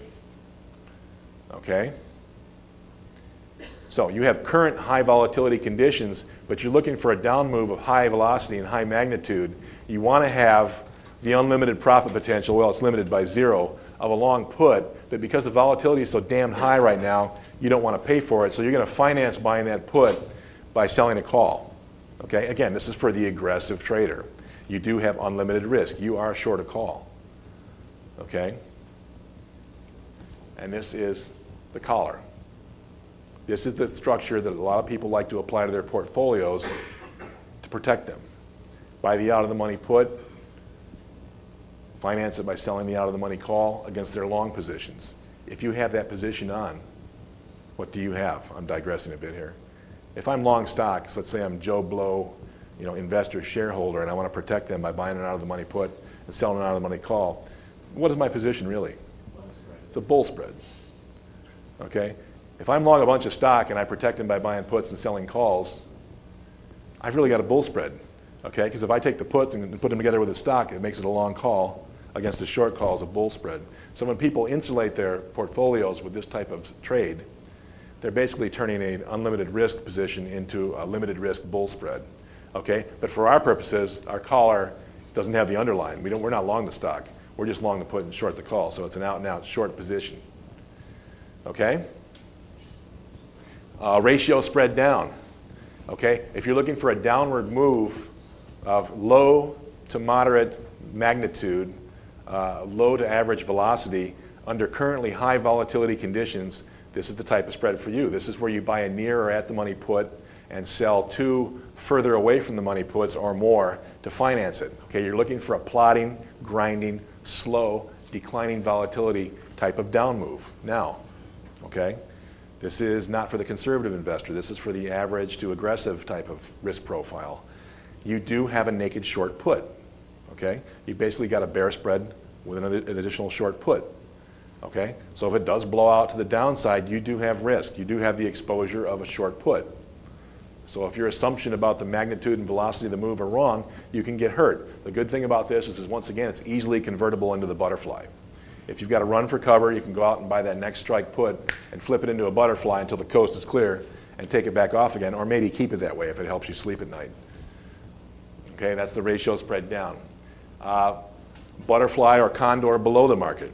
Okay, you think the market's going to go down. You think it's going to go, go to a certain zone. Maybe there's a big support zone down there, and you think it's going to go down there and bounce around for a while. You can construct a butterfly where the short strikes are in that support zone. You know, maybe you're going to take advantage of a, 38% and 62% retracement Fibonacci zone, and you're going to you're going to sell the sell the options that are bouncing on those levels and and and, and build a condor around that. That's the type of strategy you're looking for. It takes advantage of the market heading to a certain zone and also declining volatility once it gets there. So if you think the market's going to go somewhere and then hang out and go sideways, that's the strategy for you. Okay, and another, another point is that they have limited risk. Okay, Butter, uh, back spread down. Okay, you think this market's going to hell in a handbasket. Okay, and the volatility is either fairly priced or cheap. And you're looking for a high magnitude, high velocity down move and you want to have maximum exposure and you think this thing is really going to roll, then you're looking for the put back spread. And this is the one again where you sell an at the money put and you use that money to finance buying two or more away from the money puts, further away from the money puts. And again, this is the self pyramiding, exploding position that you've heard about. If the market turns around and goes up, you only lose what you paid for it, or maybe even you did it for a credit. It depends on volatility conditions at the time. You're looking for low to cheap volatility when you put this on. Okay, and you're looking for your, expect, your, your expectations for volatility is, are that it's going to explode. There's going to be a huge move. Okay? Any questions about bearish strategies? Sideways trendless market. Okay, we've, we've talked about these before uh, the long butterfly and the long condor. Those are two strategies that, that take advantage of sideways trendless markets. They take advantage, is that me? They take advantage of uh, time decay. They take advantage of volatility declining as long as the market is hovering around where your short options are. Okay? For the more aggressive, and those are, those are both limited risk applications. Okay? For the conservative to average uh, risk profile. For the more aggressive trader, there's the short straddle and the short strangle. Okay, again, taking advantage of the properties of time decay and short vega, volatility itself declining. All right, and another, another trade for a trendless market is something called a calendar spread, uh, which we haven't talked about too much. The calendar spread is a spread that's constructed by buying a deferred option of a certain strike and selling a nearer term option of the same strike. Now, the calendar spread has some interesting properties. In in a way, it's very similar to the butterfly in that it's a target trade and you want the underlying at expiration to be near the strike where you've constructed the calendar. Okay? That way, the option that you have expiring that's going off worthless will be expiring worthless while the remaining option that you still have will have its maximum value. The maximum value it can have as the other one still expires worthless. Okay? So it's a type of trade, it's a limited risk trade you can only lose what you pay for it, okay? But you can still gain money as the market goes sideways because we know that the front month option decays at a higher rate than the deferred option. So you'll have a positive theta. You'll collect money with that every day, and if the market sits in the zone around the strikes where you constructed your calendar, you'll collect money. It's also got the oddball situation in that it's long vega. Okay? Longer dated options have a higher sensitivity to volatility than shorter dated options. So you basically constructed a position here where you collect money but if volatility goes up, you make money too, which is a very unusual situation. Okay, that's the calendar spread. Take advantage of the sideways trade, and it's limited risk. One of my favorite spreads. Okay, the long calendar. Any questions about sideways or trendless strategies? Yes, sir. Um, we use calendars to be slightly bullish. You can, if you sell them each month, you don't sell up with the current month, and you let it drift up where it's like a covered call, but you make sure you give yourself enough time to you can pay for you can pay for the um, longer term call rather quickly, and then you've got a free trade. Do you use the same strike? Uh, no. You buy a deep in the money leap and you write up uh, above the market uh, short dated options against it? Right, wrap the money, yeah. six months out and sell current month, maybe one strike out, two strikes out. Yeah, I mean the strategy or the, the, the question that he's talking about is you, you know buying leaps and writing, you know, uh, front month options against them, and then as they expire, you know, continuing to write against them. I mean, that's a, that's a very good strategy. You know, higher. This is essentially a buy write. I mean, you're buying a long dated option and you're writing above the above the market near dated options against it. Um, you know, it's essentially a sort of a buy write with limited risk. Okay. Now the risk profile on that type of trade is a lot different from the one I was just talking about. Okay, because you're buying a really very expensive, long dated, deep in the money option and writing above the, above the market near-term options against it. It's a whole different risk profile uh, and a, a, whole different strategy than what I'm talking about now. But it is a very good, valid strategy depending on what your time horizon is, uh, what your cash flow situation is, and what your view on the market is. Um, for the, the, one I'm talking about is one where you, they both have the same strike, and basically you're looking for the, for the market to go sideways. That one, you're looking for the market to, to kind of go up. Okay? Um, all right, so that's the calendar. Sideways trendless markets. Okay, breakout, either direction. Market's going somewhere, don't know. Okay? Short butterfly. Okay? Short condor. Now, what are the short butterfly and the short condor? Okay, well, a short butterfly is a bull spread and a bear spread. Okay? Stacked on top of each other, except this time they're pointing out. You know, they're pointing away from each other. You've got a long put spread and a long call spread, and the longs are at the same strike. Okay, so you're looking for a move up and out of the butterfly or a move down and out away from the middle strike. Same with the condor.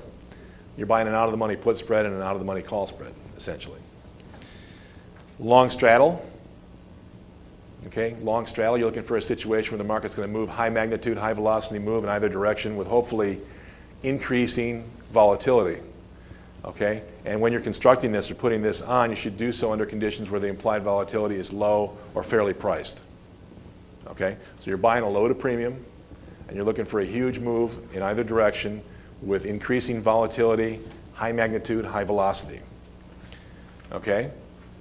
The strangle is basically a more conservative approach to the same thought process. Okay? They don't cost as much. Okay, but you've got to move further to make them profitable. Okay, again, you're looking for a huge move either direction. Current volatility conditions are low. All right, your, the expected volatility is rising or, in, or, or in increasing. Uh, high magnitude, high velocity. Okay, so those are my breakout. That's my breakout arsenal. Yes, sir. What do you gain by shorting the butterfly, just less cost? Shorting the butterfly. What do you gain? Shorting the butterfly basically is you, it, you can take, you you take advantage of structural things. Okay, now remember I talked about the skew earlier where you have, sometimes you have the situation where you have this. If you're looking for a breakout situation, oh, that's my, if you're looking for a breakout situation and you've got a volatility, current implied volatility structure that looks like this, it's a smile. Okay, obviously the wings are really overpriced in terms of volatility relative to the body. This is the type of situation where you might want to consider shorting the butterfly. Okay, because the wings that you're going to be selling are way out here at these high vols, and the body that you're buying is way down here at this low vol. You know, so normally with a smiley face, you want to be a seller of butters, of at the money butterflies, rather than a buyer. Okay, because you want to you want to sell this vol and buy this vol.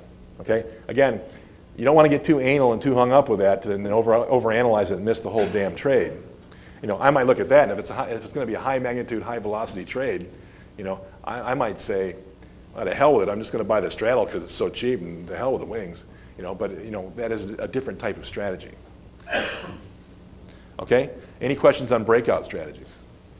Real quick one, as far as with the way the market's been moving in the tech stocks, it seems like the straddle, strangles could be very successful going either way. You can maybe catch it on both ends. What I'm wondering is, is implied volatility any different as compared to a strangle as compared to a straddle?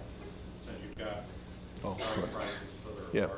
Yeah, yeah. The question is, you know, in, under under the recent conditions, you know, uh, being long straddles or long strangles has been very profitable, and the question was, is implied volatility any different for the strangles as opposed to the straddles? And, and the answer is, you know, absolutely. Okay, there's always some sort of volatility skew. Generally, the at-the-money options have the cheapest implied volatility. Okay, generally they will because of the, you know, the distributions of stocks uh, over the years have, have been shown to be what they call leptokurtic, which means they, they spend more time hanging around in the middle of the distribution than they should, you know, according to the normal distribution statistics. But they also spend more time in the outlying areas than they should. Okay, so the distribution is not the normal distribution curve you're used to seeing. You have one where you have a, a high peak where the market actually spends more time hanging around unchanged than it should. Okay, but it's also got these big fat tails, which means it has a propensity to, to move a lot further out uh, on the tails than it should. Okay, so for that reason, that's what generates that smile. Okay, because it spends more time hanging around unchanged than it should, the at the money options tend to be a little bit lower vol, but because it also has a tendency to take, have these huge outlying moves more than it should, the away from the monies tend to have a little bit of a higher vol. That's where you get that smile. Now, if that's the case, then the strangle is going to trade at higher volatility than the straddle. If you have this situation again, all right, and the straddle's here and the strangle's here, then the strangle will trade at a higher volatility than the straddle. This is all part of the things that you take into consideration when you're constructing your strategy. You know, if I'm looking to get long some vol and everything's lighting up, you know, blah, blah, blah, all my decision-making process, my final decision-making process would be to look at that situation. Okay, if that's the situation, then I'm buying the straddle. Okay, I'm not going to buy the strangle. Yes, sir. If you wanted to buy the under, uh, the underlying stock on a breakout, which one of these would you put on? Uh, underlying stock on a breakout. Uh, you're talking about a, uh, a vol- volatility breakout strategy, and you're just looking for an up move. No, either way. Either way, either way. Oh, it's gonna. You think a stock's gonna break out and go in either direction.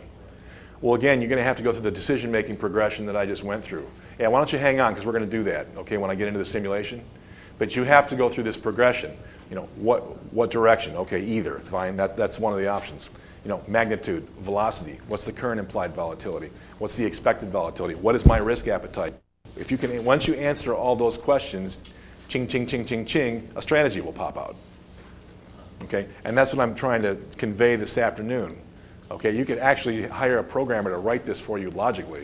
You know, if you had a drop-down window where you could, okay, uh, click on click on up, click on uh, high magnitude, click on uh, high velocity, click on current volatility is low, expected volatility is high, risk risk profile uh, average. You know, ding, ding, ding, buy a call. You know, you could you could write that logically. You know, we have. Okay, but but uh, you know that's the thought process you have to go through. To start with trending markets, and again, I'm going to go through the progression that you have to go through in your decision-making process and what a decision-making process might have been at different points in a trade. Okay? And yeah, I've constructed most of these to be winners, and yes, that is completely unrealistic, and yes, you will get burned. And I probably should have thrown a couple in here where I just got absolutely hammered and, and gone through my thought process there, but I tried to basically pick ones that were clear.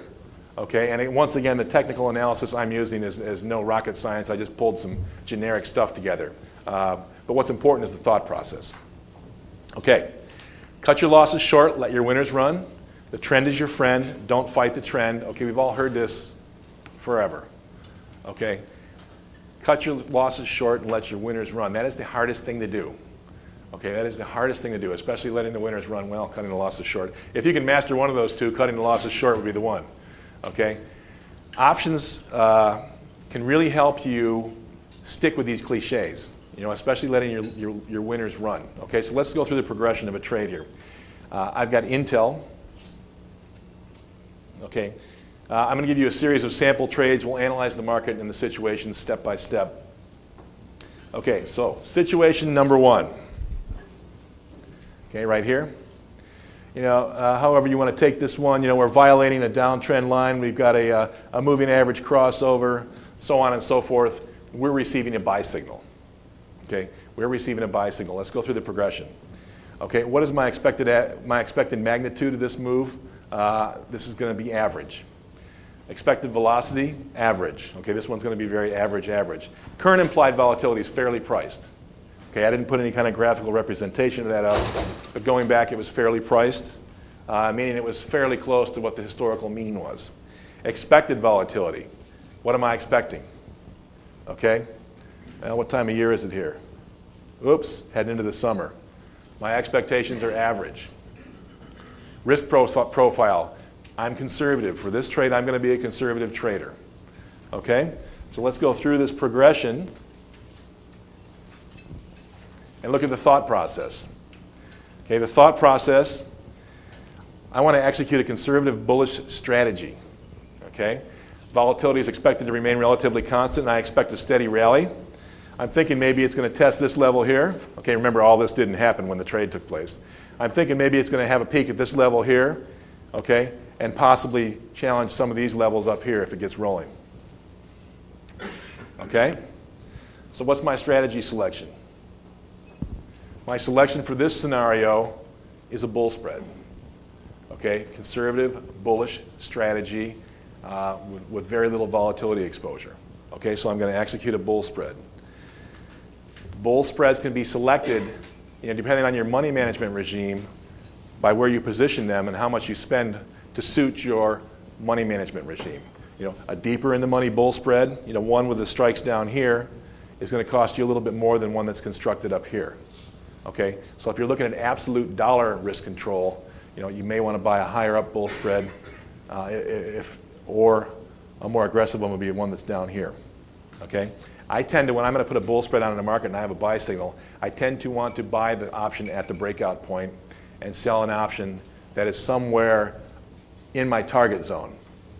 Okay, in this case, after this sell-off, I'd be looking for a retracement of somewhat, you know, maybe half to two-thirds. So my initial target zone you know, might be somewhere, you know, up in here somewhere. So probably want to sell a strike somewhere around in here. Okay? So, action. I buy the July 60-70 call spread at three and a half bucks. Okay? So I'm buying this strike, the 60 strike, and I'm selling the 70s, okay? Which is consistent with the way I think. I like to buy the option where we, where we is and sell the option where we going, okay? And that's, that's how I try to apply the bull spread. Um, all right, so I'm paying three and a half bucks and I'm going to construct a 10 lot. So I'm spending $3,500. The spread possibility is the difference between the strike or $10, so my reward is possibly $6,500. Okay, so my risk reward ratio is 1.85 to 1, and my effective stop out price 57 and an eighth or 5.7% below the market where it is now. Okay, and I believe it was 60, uh, 60 and 5 eighths when we took this. Okay, any questions so far? Oh, Jesus. Yeah. Uh, Uh, How did you figure the uh, duration for that movement? the duration is time? Yeah, time. Um, well, at the time, I mean, uh, without going into it too much, I mean, this is kind of a feel question or a system question, but you know, if you look at the you know duration of the downtrend in time, you get an idea of. You see how it's kind of symmetrical this is here. You know, here's the here's the influx point where it basically reversed. Basically, it spent an equal amount of time going up here as it spent going down here. Uh, that's a tough call. I mean, it's a feel it's a feel call. You know, again, magnitude, velocity, uh, timing, that's something that has to be your system making those calls. I mean, it's, was the breakout? See, I can't see the time. oh, I'm sorry. This is in June. I would suggest just tell us what, in case we want to look at it ourselves, you just tell us at the beginning what year and month we're in when we're looking at it. Okay, I mean, they're labeled at the very bottom. You probably can't see. Can you scooch that up a little bit there, Bill? Early June of 99, Thank you. okay? And you'll be receiving these, these uh, charts, by the way. Well, we like to look at our own charting packages. I understand. Okay? Sometimes I may not recall exactly what the hell was going on at the exact moment in, in time that, I- that I did this. I mean, really the point here is, is not what was going on, but what is the point here is of this exercise is the thought progression. Okay? That's the point of this exercise. Yes? Another reason to buy July is because that's when Intel earnings are, and you want to get some of the earnings lift too. So if you're Right. getting July or August, Right, the next quarterly gives you some lift. Right. How did you determine your stop? My stop, I just took the uh, current stock price and the amount of money that I, spread, I spent on the spread and took the percentage. Okay? So if the stock went to zero tomorrow, I'm going to lose the $3,500. That's how I determined it. Now, in reality, you know, the effective stop, meaning I calculated if I were trading stock and I had a three and a half point stop, you know, equal to the three and a half points I spent on the call spread, what stock price I would be getting stopped out at. You know, in reality, that call spread is going to retain a lot of value. You know, even if even if the stock were to go to 20, you know, tomorrow that spread would still have a little bit of juice left in it. So it's not realistic. But I'm looking at it, you know, in my mind, I'm throwing that money away for risk management purposes. In my mind, that is my ultimate hit. You know, so if it opened at zero tomorrow, I'm out 3,500 bucks. Okay, and that's and that's the way I, I look at that. Okay.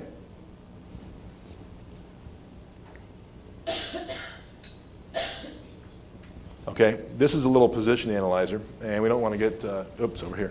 We don't want to get too caught up in the Greeks, but inputting that position with the stock at 60 and 5 eighths with the volatility, again, whatever it was at the time, I can't recall, but it's not really the point.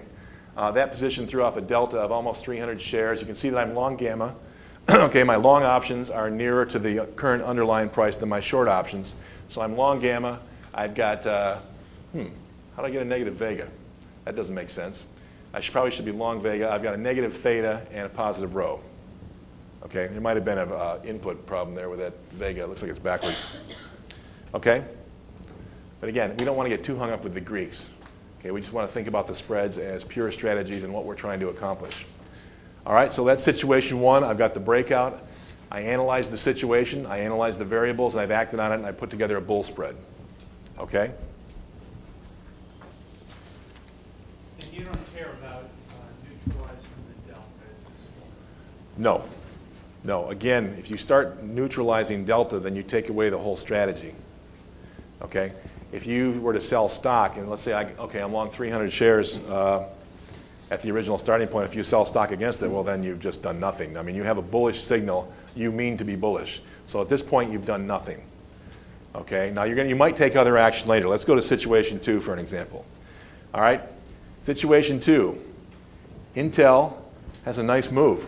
Up to 67. And then you get this nice little, this ugly little reversal bar here. Okay, you got this big gap here, narrow range. You get a reversal bar. I start to get nervous. Okay, I've got a nice profit in the position. It's gone from 60 and 5 eighths to the closing price that day. I think that I'm taking is 67. Again, you got to give me a little waggle in here. I think I'm using the closes. All right, but I, I don't like this. I don't like this action right here. Okay, but I still think the, the you know the trend, the intermediate term trend, is up. So what do I want to do? Okay, you can see the position's profitable. I'm up 1,800 bucks. All right, I've still got my delta of more or less 300. Okay, now I'm short gamma and short vega. That makes more sense. Why am I short those two derivatives? Short gamma and short vega? That's because the underline is now closer to my short strike than my long strike. Okay, so as far as the Greeks go, it takes on the characteristics of a short option position. All right, so the position's profitable, and I've got to go through my thought process. Okay, I'm going to come back to this. Let's go through the thought process first. Okay, thought process. Trader's view is unchanged. I'm still bullish and looking for a test of 70. However, my spread is now worth 5 and 3 eighths. Okay, that means I've got a 10 point call spread. It's got a current value of 5 and 3 eighths. Okay, so I've got 5 and 3 eighths on the table, and I spent 3,500 bucks to establish that. So I got 5 and 3 eighths total on the table. Okay, for a 10 point call spread, that means I'm risking 5,300 bucks to make 4,700 bucks. Okay, and as a conservative trader, this puts me in an uncomfortable risk reward situation, and I choose to roll the spread. Okay, now let me back, back up here a second. Rolling positions. Okay, rolling positions is an option strategy uh, that you undertake, and it really it's when you move one position from one place to another. And while you do this, you're extracting money from the market. So it accomplishes three things: you're taking profits, you're reducing risk, and you're maintaining your position in the market. Okay, so I'm taking money off the table to increase my comfort zone, but it's keeping me in the market. And I'm attempting to let the winners ride. Okay, and I'm able to let the winners ride because I'm increasing my comfort by taking some dough off the table. Okay, let's flip forward. Okay, action. I sell the July 60-65 call spread at three and a teeny. Okay, this takes $3,000 off the table, a little bit more than $3,000 off the table, and if you remember, I originally invested 3,500. So I've gotten almost all my money out of this position. Okay, takes off the table and it rolls the position up. So now the position, I sold out my 60 call and I bought a 65 call. Okay, so now my position is I still have a bull spread. I'm long the 65-70 call spread, so I still have my bullish position on. Uh, now I'm long 150 deltas, and I've taken $3,000 off the table. Okay, so that reduces my risk, and now I'm ready to move on.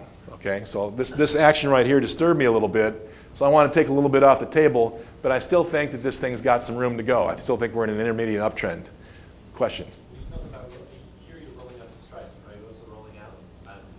Possibly. I mean, that's one possible situation. You know, I've got July's on. I put the position on in June. You know, we're getting closer to July where there might be some significant decay, although I have a bull spread, so I'm not particularly worried about that because the, the market is heading higher constantly toward my shorter strikes, which means the decay works in my favor. But at some point, if I think this is going to go on forever, I'm going to have to make a decision. Do I roll this position into July, or uh, excuse me, into uh, September, uh, or, do I, or do I just take it off and wait or, or whatever? But again, these are, these are the thought processes that you have to go through. Every, every time you get to a point at the end of every day where, where any kind of significant trade takes place or significant activity, you have to sit back and analyze your position and, and, and realign your views and expectations. Yes? If you would have thought that was all you were going to get, would you turn it into a butterfly? It depends. If I thought that was all I was going to get and it was going to go back down here and resume the downtrend, I'd just bail. I'd exit, take my money, and get the hell out. If I thought it was going to sit here and go sideways, if I had something that was telling me that, then yeah, I might. It depends on what the volatility situation would be there. Okay, for average volatility, uh, and I thought it was going sideways, sure, you could sell the uh, 70-75 and turn this thing into a fly, you know, if that's what you wanted to do. And that's exactly the thought process that I, that I want to see. This is what you've got to go through, okay, to, to, to, to roll these positions along. Okay, so I've rolled my position up. Okay?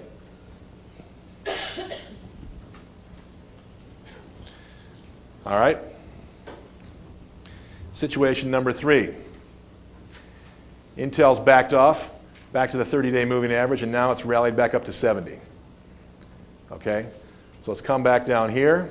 Now down here, you could have done any one of a number of different things. If you're, uh, you know, if you're a swing trader, if you've got uh, systems you rely on, you see how it held this 30-day really nicely. You know, possibly you could have nipped in there and bought those uh, 70 calls and just gone naked to 65, something like that. That kind of stuff is up to you.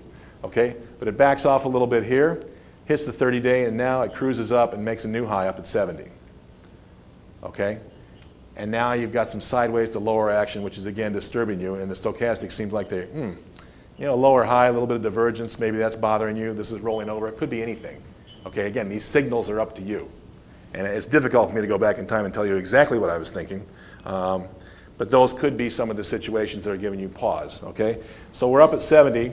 Market action and divergence give reasons for concern. Okay, I'm not happy with this price behavior up here.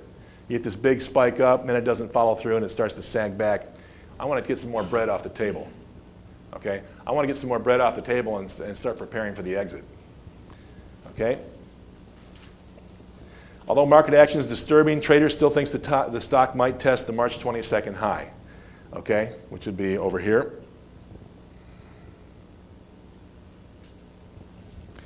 Sensing a pullback, the trader decides to roll the position again, okay? Well, now I've got the 65-70 spread on. You know, I know how to roll an option. By rolling an op in order to roll an option, I do a spread. How do I roll a spread? In order to roll a spread, you use our old friend friendly butterfly, okay? In this case, I'm going to sell the 65, 70, 75 call butterfly for 7 eighths. Okay? So what that did, remember my original position is I was long the 65s in here. I was long 10 of these and short 10 of these. If I sell the 65, 70, 75 butterfly, that sells out my 65, 70 spread 10 times and converts it into a, a 70, 75 spread 10 times. Okay? So I take another $875 off the table and I've rolled my bull spread up now to the 70, 75. So what have I done? I've gotten all my money out.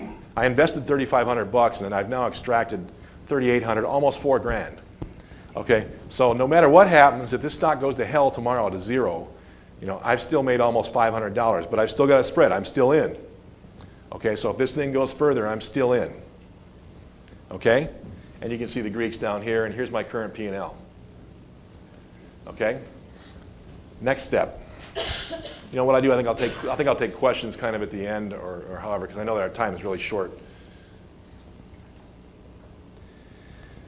All right. Intel pulls back to the 30-day moving average once again, a couple of penetrations, and blasts off up the new highs at 73 and three quarters. Okay?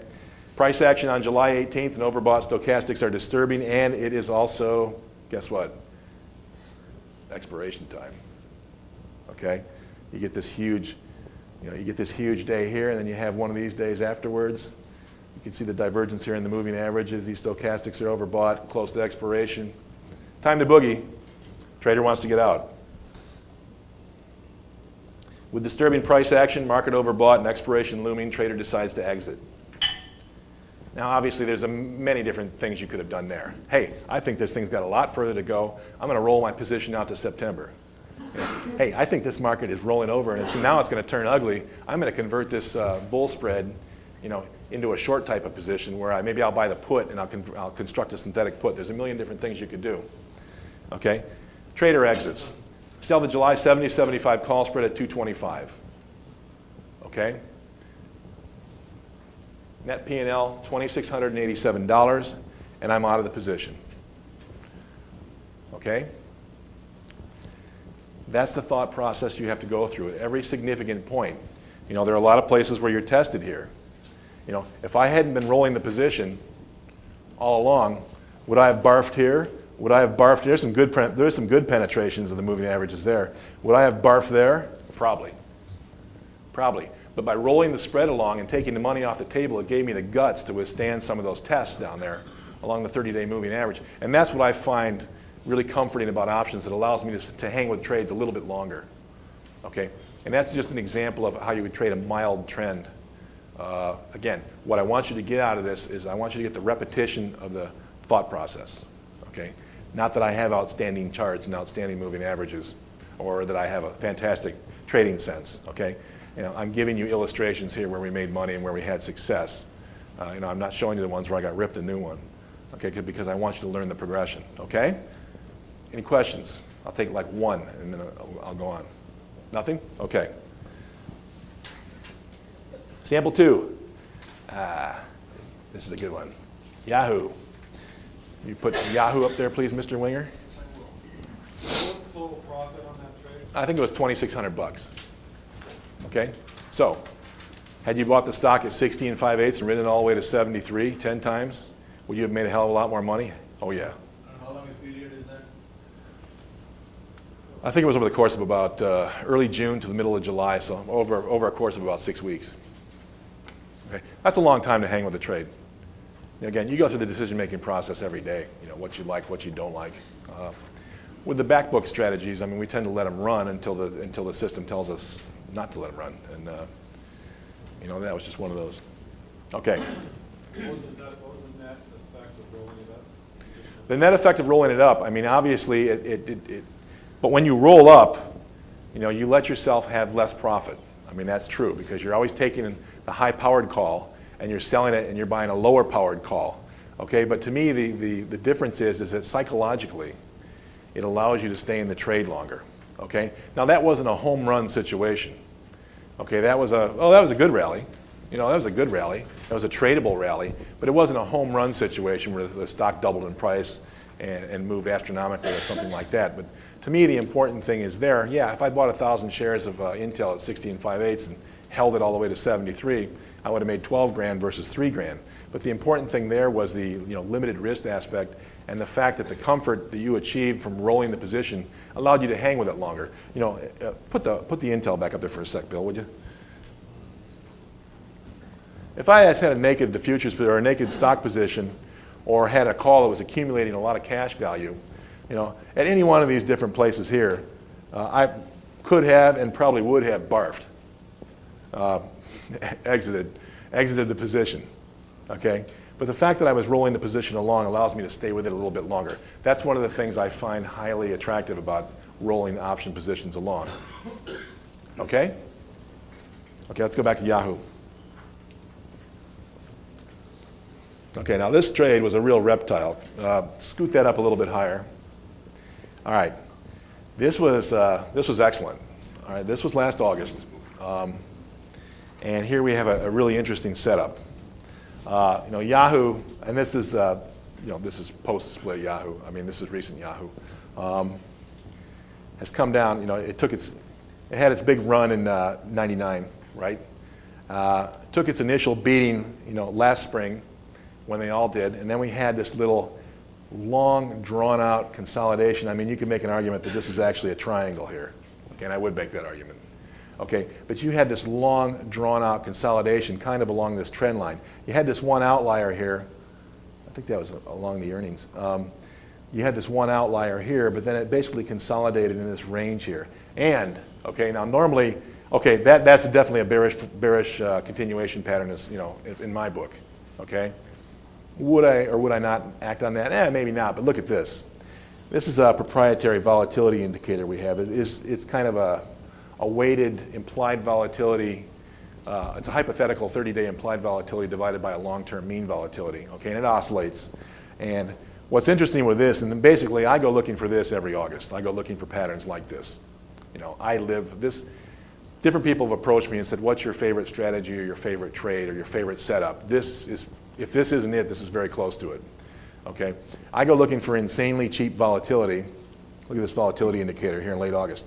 I mean, this is absolutely in the sewer, this volatility, with a breakout pattern. Okay? So you've got this situation where Yahoo had a really stiff sell-off, and then it bounced and kind of went sideways and consolidated here for a number of months. Okay? And the volatility got to insanely cheap levels. Okay? So, what's the situation? I'm getting, I'm getting a sell signal. Okay? What's my expected magnitude? Large. This is going to be a big move. Okay? Expected velocity? High. Current implied volatility? Low. Okay? Expected volatility? High. What's my risk profile? I'm aggressive. Okay? I'm aggressive.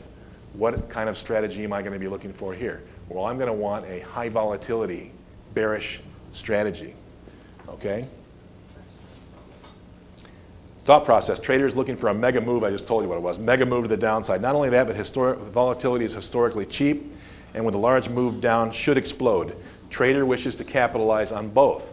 Okay, so I want to make my money both on the break in the market and the volatility exploding. Okay? How do you conclude that the move would be a mega move? Well, I, uh, what I do is I look at the initial move.